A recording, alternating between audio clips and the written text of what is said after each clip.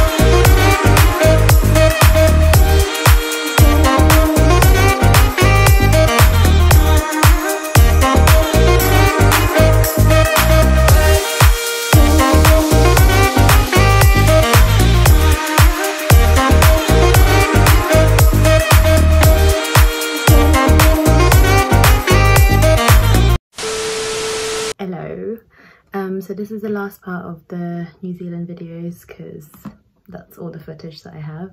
Um but we essentially got to queenstown we spent a couple of days there um doing all like the adrenaline stuff that we could fit in. Um so that was like the original bungee jump. We did want to do the Nevis but it was so busy. Um so we just didn't have time at all to do any of them. But to be honest any bungee jump is as good as any other one. So this was my second one. Um the first one i ever did was in cairns and that was actually i think that was like 70 meters or something. So it's a little bit higher than the one the original bungee jump. So the Kawarau Bridge, which you just saw in the video, that's 43 meters, but it's actually the first ever commercially um, made bungee jump. So that was pretty cool and the view was really cool. Um, and I went after Maddie, um, Connor went first and then Maddie went next and she's like terrified of heights um, and she literally was like nearly crying like get me out. But I was like no like you're already strapped but you can do this blah blah um, and the guys were really good at like persuading her as well. So yeah eventually she, she jumped um, and it was really fun. Um, what else we do? Yeah, we did a couple of jet boats. The Shotover one, which you saw in the video, um, is a really fun like adrenaline one. It's like 25 minutes. Um, and it really does feel like you're gonna hit like the rocks and stuff. Like the drivers are insane. Like to be a jet boat driver, like you definitely can't do that hungover.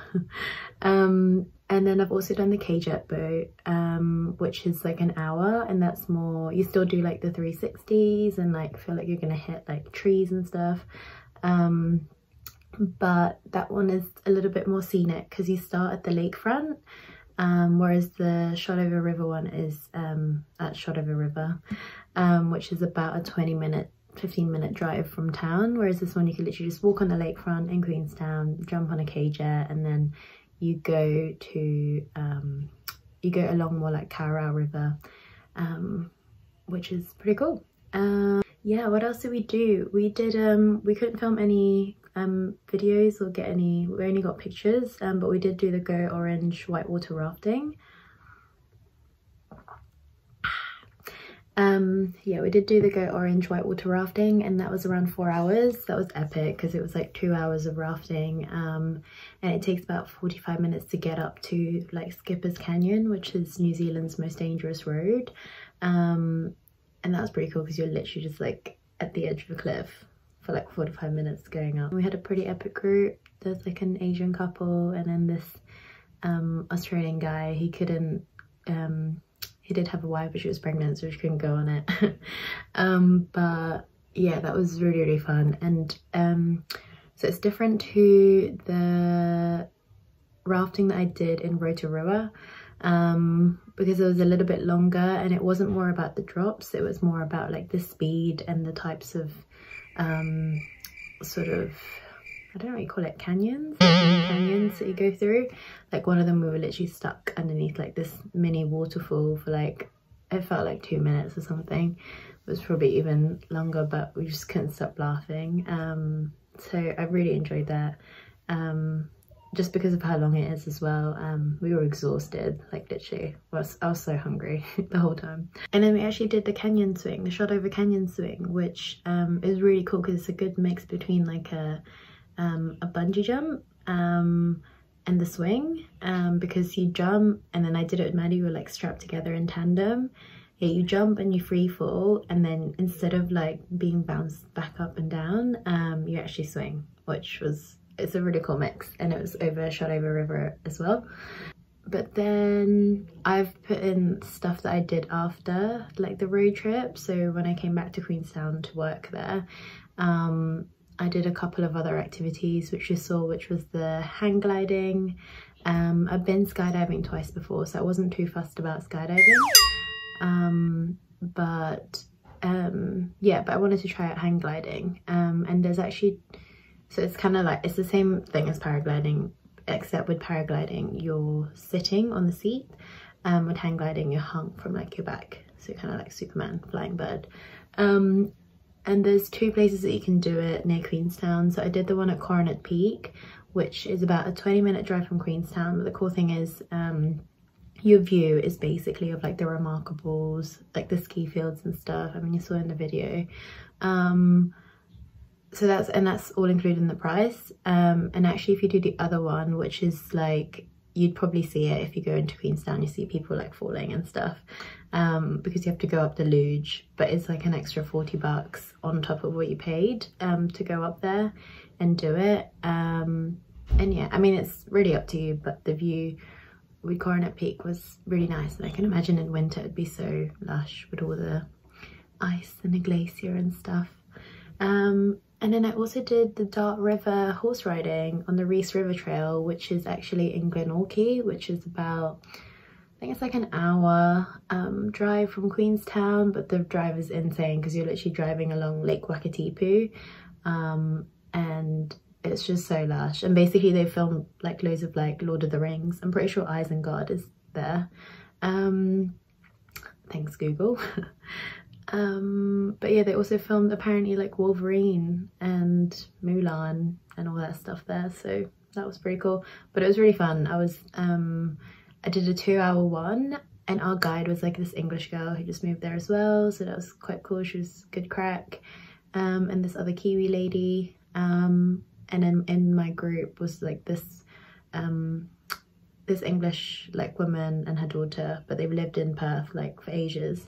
Um, but she's actually an experienced rider and like five minutes into the um five minutes into the ride she had horse literally just like threw her off um not so violently but she did fall on the floor and we were literally like what the fuck? And it was her daughter's first time as well riding so i think she was a little bit freaked out but she literally just like got up and was like cool whatever like no fucks given. Um and then on the last like five minutes her daughter's um horse then just like I don't know, just crashed, like just was just like, I can't be bothered with this. And then just fell down. It was, yeah.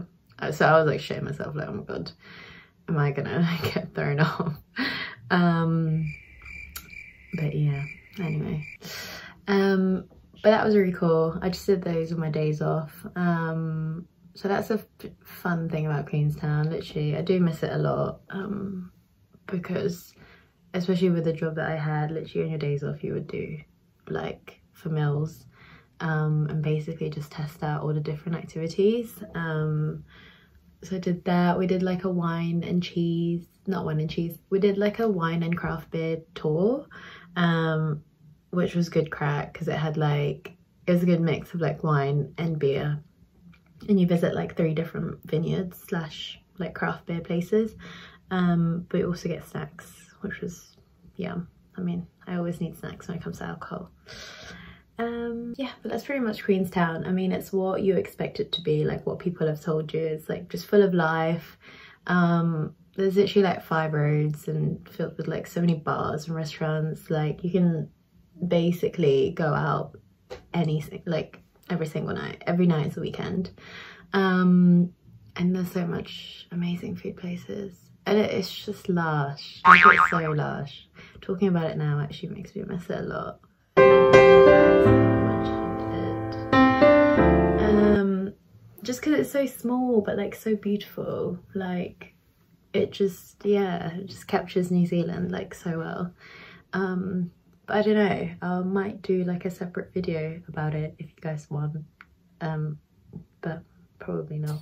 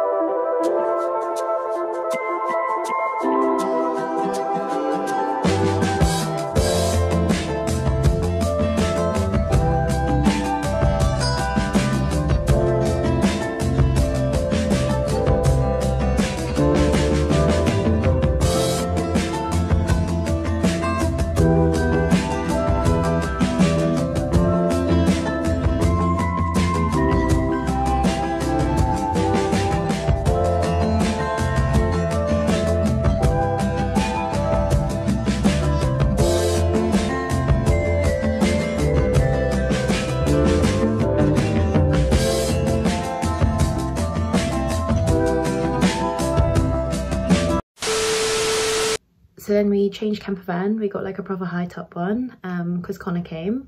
Um, and then we drove to mount cook. Um, on the way we stopped at a, like um, a couple of wineries just because why not? Like, me and maddie weren't driving so connor was in charge so we could just like get drunk basically. So we just got to Mount Cook, we just parked at like the camper van site next to um, the Hooker Valley track because we knew we wanted to do it. Um, but yeah, unfortunately the next day we couldn't um, get on the flight because the weather wasn't very good. Um, but the Hooker Valley track was really, really cool. Um, it was cool because at the end you see this like glacier lake and you see like icebergs and stuff on the lake. Um, but insane actually because I went like three to four weeks later and it was basically gone. So yeah, it's mental. Um, but the Hooker Valley track is a really nice track to do because it's basically flat. It's not really a hike, it's more just, yeah, like it says, a trek Um, but it's just beautiful, like so many different colours. But after you basically done that, there's not really much to do in Mount Cook unless you wanted to do one of those like few day hikes, which we didn't really have time for. So we drove to Lake Tekapo um, which is literally like 45 minutes. Um, but we did stop at Lake Pukaki um, for like a quick swim. It was freezing, but it was so nice because you get the view of like Mount in the background. Um, and then, yeah, we literally spent like basically a few hours in Lake Tekapo because we just wanted to do the stargazing. Um, so it's actually like a protected observatory sort of area. Um, but I love that. I didn't, I don't have any footage of it because it was so dark, like you couldn't really see anything. Um, and I didn't have my camera then to film like the stars and stuff, but it was so fascinating to like listen to um, the tour guide talk about like the different stars and we used like those telescopes to like look up close to them um but the best bit was like we went into this like hot pools and we were basically stargazing while he told us stories for like two hours um at like 1 a.m in the morning um with like hot chocolate and stuff. So yeah absolutely loved it. Would definitely definitely recommend it.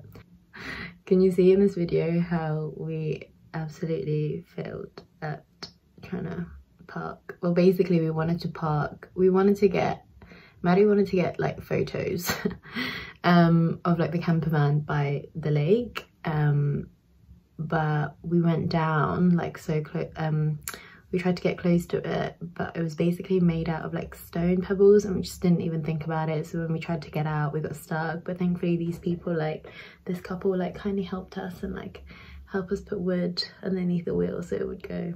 So we learned a lesson. We just park where there's concrete. Ah. Yes after lake tekapo we then drove to kaikoura which was quite a long drive. That's that was like five hours i think. Definitely worth it. Um there's so many animals that you can see like sea animals. So we saw like baby seal pups.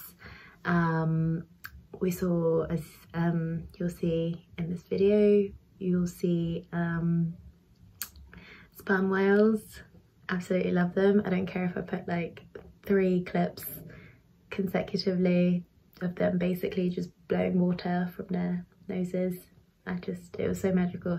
It was so magical because literally like 30 minutes in we saw like two sperm whales. And they wouldn't and literally they were just they just wouldn't stop breathing. I loved it. And then it's really cool how like the tour guides know when they're gonna breach. Um so that was really magical and a dream come true i love whales literally i was freaking love whale season last year in australia it was so fun um but anyway sperm whales are there all year round and they also have orca whales um so maddie and connor went on like a helicopter flight um, and they saw orca whales from above, which was really cool because Maddie loves Free Willy. Um, but yeah, I didn't go because it was very expensive. um, and we tr also tried crayfish because apparently the best crayfish was in Kaikoura. It was like, I think it was like $40 or something for like half a kilo, for like $50. It was something really expensive and you literally got like a couple of bites from it, but it was worth trying it. Oh, um, unfortunately we couldn't do the dolphin swimming, which is actually what a lot of people do in Kaikoura. Um, and yeah, unfortunately it was like fully booked until the next month. Um, so that was bad planning on our part. Um, and apparently, yeah, very high in demand if you really want to do it. Um, but luckily in our sperm whale watching tour, um, there were loads of dolphins just like playing so you'll see in the video um so that was just as cool to be honest like yeah and they really were like so playful like they're out there to like show off which is really cute. Um but yeah and then we drove to christchurch um and then they caught their flight to sydney in the evening and i stayed for one more night just to chill. I literally just stayed in my room. I just got like a private room because i don't know. I, after like a week of camper vanning, or like no, two weeks, two and a half weeks, you do kind of want like your own privacy then. um, so I was just like, treat myself, honey. and then the next day I got the intercity bus back to Queenstown, which took like freaking seven hours. We stopped at like Tekapo, Mount Cook, like all the places that we stopped at on the way. Um, and then, yeah, and then I started my job the next day crazy um but anyway yeah watch the video enjoy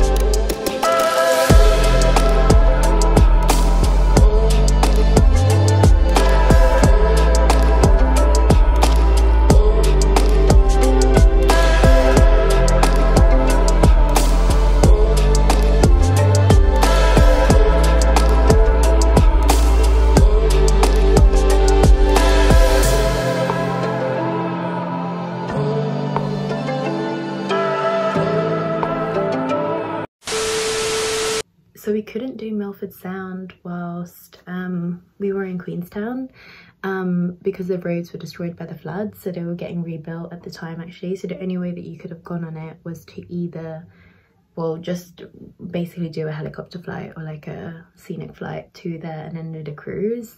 Um, traditionally, you could actually just like drive there yourself or take like the coach and stuff. Um, so yeah, so we couldn't get on any, um, but a few weeks after I, um, yeah, settled down in Queenstown, my friend um, from the UK um, came and then we did, um, we managed to get on a, like a fly cruise fly. So you get on this small like ski type of plane. Literally there's like, I think there was only like six of us or something. Um, and it was so magical, like so, so worth it. If you can, so put it this way, like a coach, um, a coach cruise coach. So you start from Queenstown, go to Milford. So you come from Queenstown, it takes like four hours to get there because um, because basically everyone's queuing up, like all the coach companies. Um, and then when you get there, there's like an hour or like, it's like an hour and 45 minute cruise. And then you have to go back again, which takes like another four hours because you're basically, yeah, following everyone. Um, that like you can get pretty cheap ones for like 120 but you could also some of them are also like 200 bucks.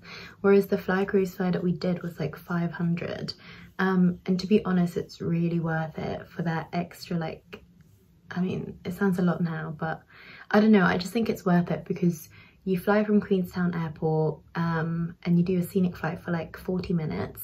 Insane because you see you basically get a view of queenstown and then you get a view of like the Fiordland National Park essentially and see all this shit that you wouldn't normally see if you were like driving on the road.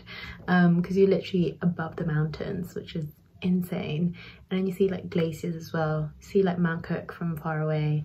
Um and then actually when you arrive you see Milford. You um cruise through Milford from above up to the edge of like the Tasman Sea and then back. And then you and then you do the cruise for like two hours which um to be honest was actually a little bit underwhelming just because we've already seen like Milford Sound from above but it was still pretty cool. Like we saw like the seals there and stuff um and yeah no it was it was really nice. And then yeah on the way back you take a different route which is again like another 40 minutes um so it's like for me it was really worth like paying for it um and yeah I just think it's like one of the you know like one of the one of the wonders of the world.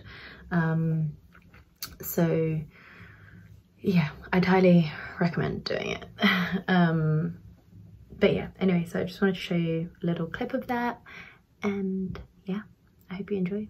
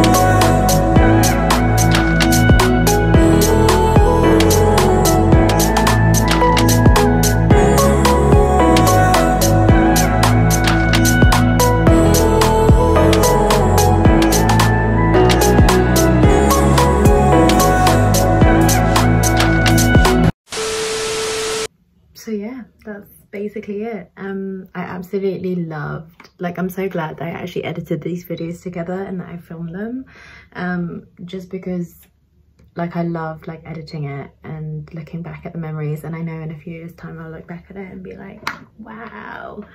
Um and i used to do the them anyway like with spark videos. I don't know if you guys have ever heard of that app but um, my friend recommended it to me when we were like at uni. So every time I'd go on like holiday or something I'd like film little bits and then make like a little montage video with some cool music. Um so yeah maybe i'll upload those. They're not going to be like the best quality but maybe i can like react to it or something. I think i definitely need to change music because i used like music that would be copyrighted.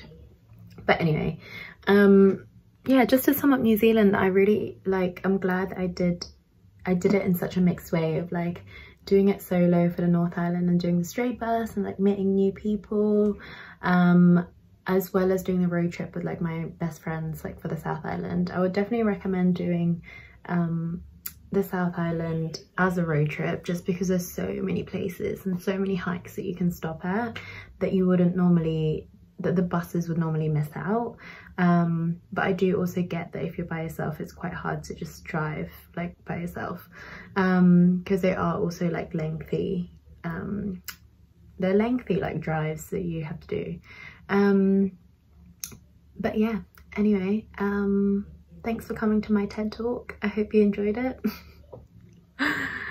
Watch the space if I'm gonna upload anything else. This was really cringy to make, to be honest. But anyway, thanks for watching. Bye!